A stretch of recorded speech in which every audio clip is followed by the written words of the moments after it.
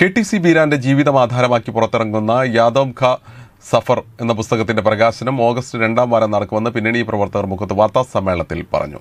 പുസ്തകത്തിന്റെ cover releasing മുഖം press ക്ലബ്ബിൽ നടന്ന ചടങ്ങിൽ കെ ടി ബീരാൻ ഹാജിയിൽ നിന്ന് ഏറ്റുവാങ്ങി press club secretary P Chandrababu നിർവഹിച്ചു.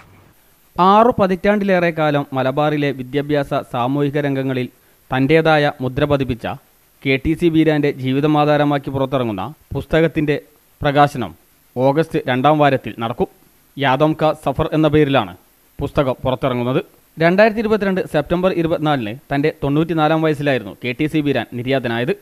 Abdussamad Samadani E T Muhammad Basheer doctor Hakeem Azhari doctor Hussain Madavoor O Abdurahman V A Kabeer O P Abdussalam Moulavi തുടങ്ങി വിവിധ മേഖലകളിലുള്ളവർ പല കോണുകളിലൂടെ കെ ടി സി ബീരാന്റെ ജീവിതം ഓർത്തെടുക്കുന്നുണ്ട് പുസ്തകത്തിൽ.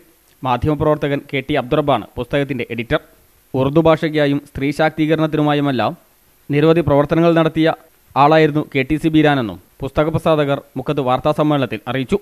ചേന്നമംഗല്ലൂരിലെ കീരന്തുടിക കുടുംബത്തിന്റെ അമീറായിരുന്ന K T C Beeran Sahib ഞങ്ങളുടെയൊക്കെ പിതാവ് ഏകദേശം ഒരു നൂറ്റാണ്ടോളമുള്ള ജീവിത കാലത്തിനിടയിൽ കുടുംബത്തിനും സമൂഹത്തിനും നമ്മുടെ നാട്ടിനും വേണ്ടി തന്നെ ഒരുപാട് സേവനങ്ങൾ ചെയ്യുകയുണ്ടായി. പ്രധാനമായും അത് അറബി ഉറുദു ഭാഷാ രംഗത്തുള്ള അദ്ദേഹത്തിന്റെ പ്രവർത്തനങ്ങളാണ്.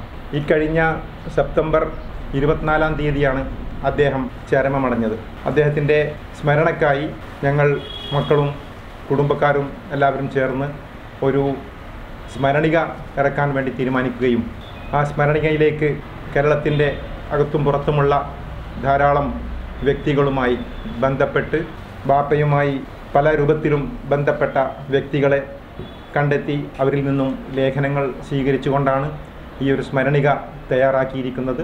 പുസ്തകത്തിന്റെ കവർ പ്രകാശനം മുഖം പ്രസ് ക്ലബ്ബിൽ നടന്നു. കീരൻ തൊടിക കുടുംബസമിതി അസിസ്റ്റന്റ് അമീർ ബീരാൻ ഹാജിയിൽ നിന്ന് press club secretary P Chandrababu ഏറ്റുവാങ്ങി. മുഖത്ത് നടന്ന വാർത്താ സമ്മേളനത്തിൽ K T Murshid Malik Nalakath K T Hashim K T Beeran Haji K T Abdul Rasheed K T Muhammad എന്നിവർ പങ്കെടുത്തു. News bureau Mukkam.